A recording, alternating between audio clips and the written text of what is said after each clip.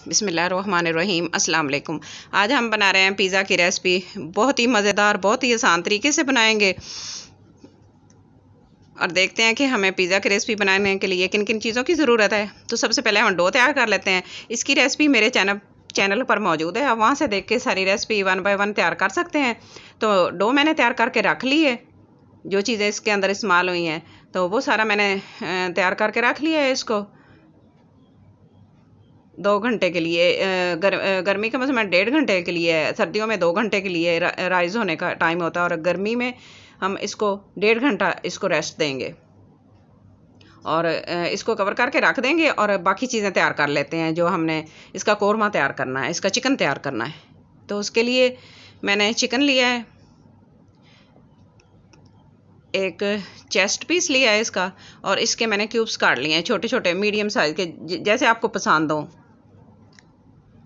इस तरह इनकी कटिंग कर लेनी है और टमाटर और शिमला मिर्च और प्याज, ये मैंने स्लाइस में काट लिए हैं।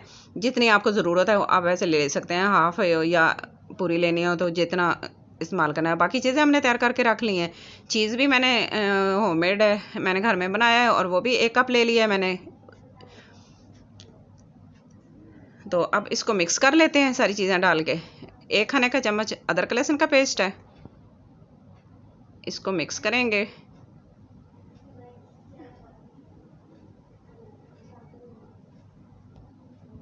सोया सॉस एक खाने का चम्मच। और चिली सॉस मैंने एक खाने का चम्मच लिया है। इसको स्पाइसी करने के लिए। और दो खाने के चम्मच मैंने इसमें दही लिया है। और, ये होममेड तिक्का मसाला है। और, ये मैंने दो खाने के चम्मच लिया है।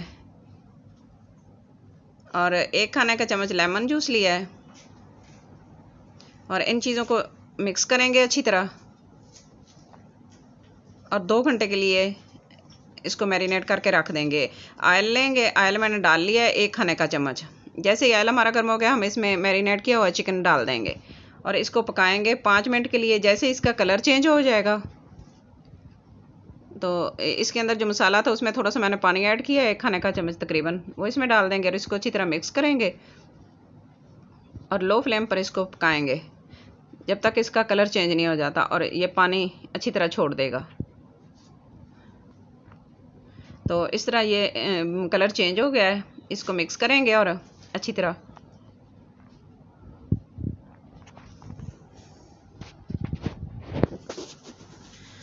और कवर करके 10 मिनट के लिए लो फ्लेम पर पकाएँगे ताकि इसका अच्छी तरह गल भी जाए और इसका पानी भी निकल आए। जैसे भी इस, ये अच्छी तरह गल जाएगा और इसको हम खुश करेंगे हाई फ्लेम पर ओपन करके, और चम्मच साथ साथ हिलाते रहेंगे।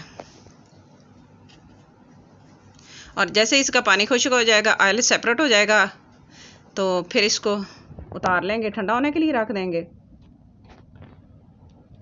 और ये ठंडा होगा और इतने हमारी जो डो है वो हमारी राइस हो गई है। अब इसकी हम बेल लेते हैं, रोटी बेल लेते हैं पिज़्ज़े के लिए।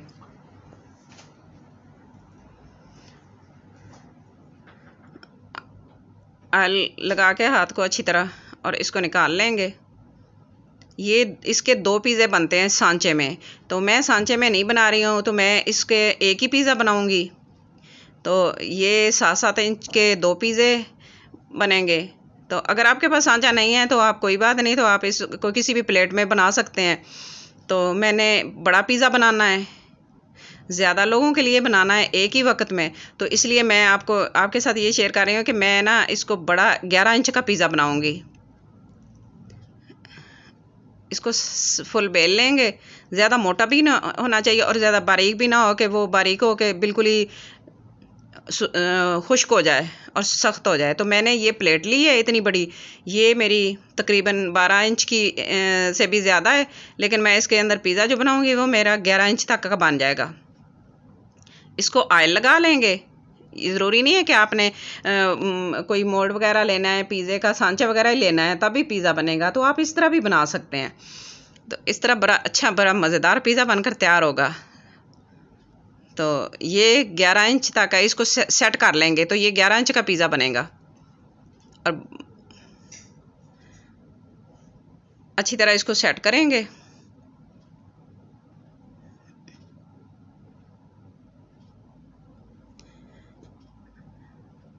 और फिर इसको फोर्क के साथ इसके अंदर फोर्किंग कर लेंगे, ताकि इसके अंदर जो हवा ना इकट्ठी हो जाए और बबल वगैरह ना बन जाए। और फूलने लग जाएगा। तो इस तरह ये अच्छी तरह इसके अंदर फोर्किंग कर लेंगे। तो ये मैं आपको चेक करवाती हूँ। ये 11 इंच का पिज़्ज़ा तैयार हो गया है। तो आप इजीली बना के मज़ा से इंजॉय कर सकते हैं। पिज़्ज़ा सॉस तैयार कर लेते हैं। इसके लिए मैंने दो खाने के चम्मच कैचअप ले लिया टमाटो कैचअप और चिली फ्लेक्स डाल लिया। और एक चौथाई चम्मच मैंने औरिगानो डाली, अगर आपके पास नहीं है तो ना डालें। करियंड ज़ीरा पाउडर, धनिया पाउडर डाल लिया है मैंने, और काली मिर्च का पाउडर है। ज़ीरा पाउडर है, एक चौथाई चाय का चम्मच।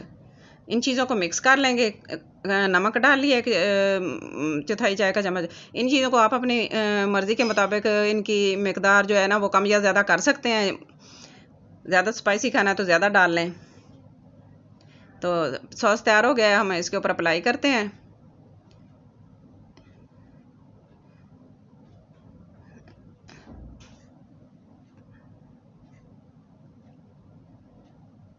और चीज़ डाल लेंगे थोड़ा सा। इस तरह हमारा पिज़्ज़ा अच्छा बनेगा। और चिकन तैयार करके जो रखा है, वो इसके ऊपर डाल देते हैं सारा।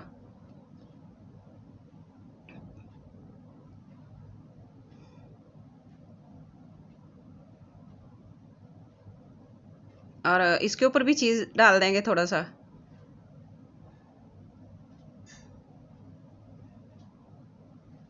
और शिमला मिर्च जो मैंने स्लाइस में काट के रखी है, वो डाल देंगे और टमाटर वो भी उसी तरह के बारीक हैं। तो हमने विदाउट ओवन बनाना है तो इसलिए हमने इसको बारीक कर लिया है। प्याज, उसको भी एक ही ये सब तीनों की एक ही शेप है। इस तरह अच्छी लगती है। तो अब इसके ऊपर जो बाकी चीज़ है, वो सारा इसके ऊपर डाल देंगे चीज़ से पिज़्ज़े की जो है, वो लुक अच्छी आती है। इस तरह हमारा स्पाइसी पिज़्ज़ा तैयार हो जाएगा। तो अब इसको मैंने दो तवे तैयार करके रखे हैं। एक मैंने प्लेट रख ली है, कोई भी प्लेट आप नीचे रख दें डायरेक्ट शुरू में ना रखें। और ये पाँच मिनट का वक्फा है मीडियम फ्लेम पर इसको पकाना है और साथ में चेक करना है, नीचे से थोड़ा सा हार्ड हो जाए। ज़्यादा हार्ड नहीं होना, पाँच मिनट के लिए पकाना है और देखना है। जैसे ही नीचे से इस तरह पक जाएगा थोड़ा सा कलर आ जाएगा तो हम इसके नीचे से प्लेट निकाल देंगे और डायरेक्ट इसको तवे के ऊपर रखेंगे। तो साथ में आपने चेक करते रहना है। तो अब इसकी प्लेट निकाल देते हैं और फ्लेम बिल्कुल लो कर देंगे। क्योंकि लो फ्लेम पर 10 मिनट लग जाएँगे तो नीचे से जल ना जाए। तो फ्लेम लो रखनी है और नीचे से चेक करते रहना है और साथ हमने दूसरा तवा फुल गर्म करना है। तो फुल गर्म करके इसके ऊपर ताकि नीचे से भी पक गए, ऊपर से भी ये मेल्ट हो जाए। चीज़ भी मेल्ट हो जाए और ये शिमला मिर्च वगैरह ये सारी पक जाए और गोल्डन कलर आ जाए। दो दफ़ा इस तरह करेंगे फुल गर्म करना है और फिर इसके ऊपर आयल ग्रीस कर लेंगे। आयल लगा लेंगे। आयल लगाने के बाद हमने एक दफ़ा इसको फुल गर्म करना है, तवे को गर्म करके ऊपर रखेंगे। आप इसका टाइम दो से तीन मिनट कर सकते हैं, देखते हैं, जैसे ही इसका, इस तरह का गोल्डन कलर आ जाएगा, ऊपर से भी ये गोल्डन हो गया है, पक गया है। तो ये देख के करना पड़ता है इसको। मैनेज के किस तरह आपने इसका कलर लेना है। तो ये बहुत अच्छा हो गया है, इसका कलर आ गया है। तो मुझे इतना कलर चाहिए था, अगर आपने ज़्यादा पकाना है तो फिर आप थोड़ा, एक दफ़ा और भी तवा इसको गर्म करके रख सकते हैं। तो हमारा पिज़्ज़ा ग्यारह इंच का पिज़्ज़ा हमारा बनकर तैयार हो गया है। तो अब इसको हम सर्व करते हैं और इन्जॉय करते हैं। तो आज की मेरी रेसिपी आपको कैसी लगी है? मुझे अपनी यूट्यूब फैमिली के कमेंट का शिद्दत से इंतज़ार रहेगा। मुझे अपने कमेंट में कमेंट बॉक्स में मुझे ज़रूर बताना आज की मेरी रेसिपी आपको कैसी लगी है।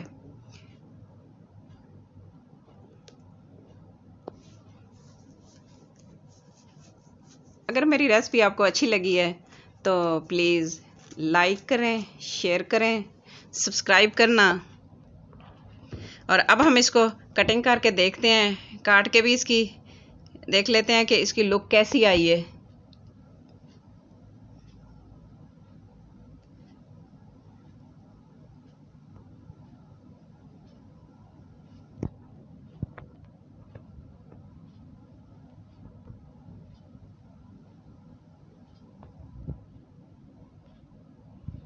तो माशाल्लाह, बहुत अच्छा बना है।